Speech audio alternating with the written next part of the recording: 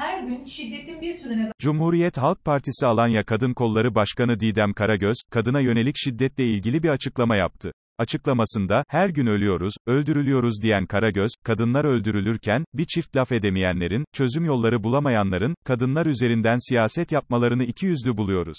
Ellerinizi, dillerinizi, bakışlarınızı, fikirlerinizi üzerimizden çekmenizi istiyoruz dedi.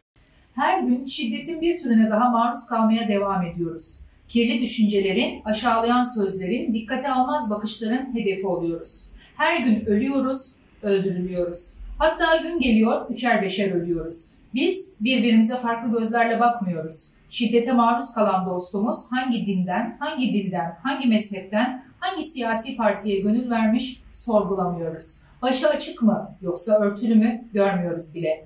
Kadınlar öldürülürken bir çift laf edemeyenlerin, çözüm yolları bulamayanların kadınlar üzerinden siyaset yapmalarını iki yüzlü buluyoruz. Ellerinizi, dillerinizi, bakışlarınızı, fikirlerinizi üzerimizden çekmenizi istiyoruz.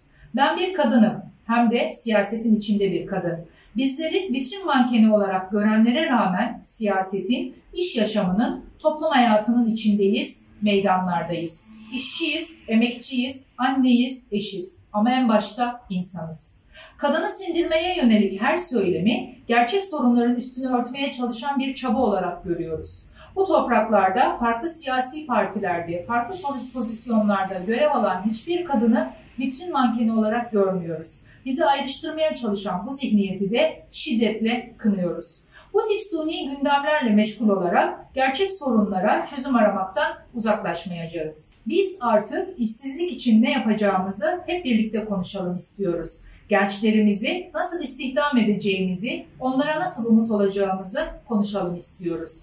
Her yeni güne farklı bir zam haberiyle uyanıyorken, alım gücümüz iyice düşmüşken, asgari ücretin temel ihtiyaçlarımızı bile zor karşılıyor olduğunu konuşabilelim istiyoruz.